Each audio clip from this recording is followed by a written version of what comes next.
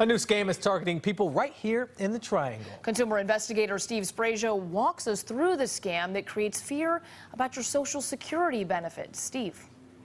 Well, the calls are happening all across the area. Both the Social Security Administration as well as the state attorney general say they're creating a lot of confusion and fear among people. Now, earlier today, a Zebulon man reached out to us to talk about this story and to warn others. Hello?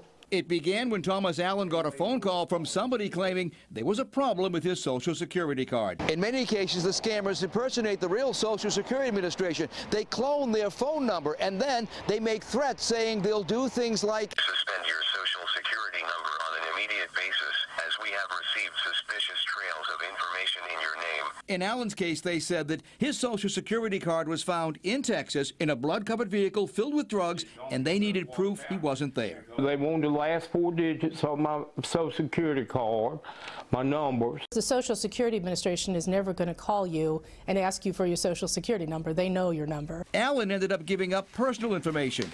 This woman lost $50,000 to a person posing as a Social Security official. The money would have to be transferred and then transferred back. Scammers use all kinds of techniques, including intimidation like this. Now, if I don't hear a call from you, we will have to issue an arrest warrant under your name and get you arrested.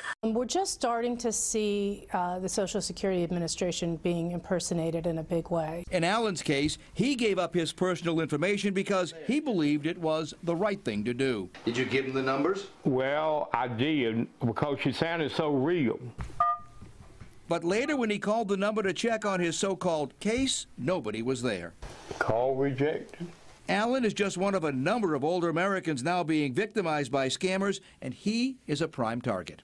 I get a lot of strange calls. I've had people call me and, and said that they had oil wells they wanted to sell me out in Oklahoma. Um, I've had people try to sell me rings. Now, get this. In the time that we interviewed him was about an hour, he received five, that's right, five phone calls from scammers who were either looking for information or trying to get money. If you get a call like that, just hang up. And if you want to report somebody impersonating a Social Security employee, I've added a link to today's web story to help you do that. Working for you, I'm consumer investigator Steve Sbraccia. All right.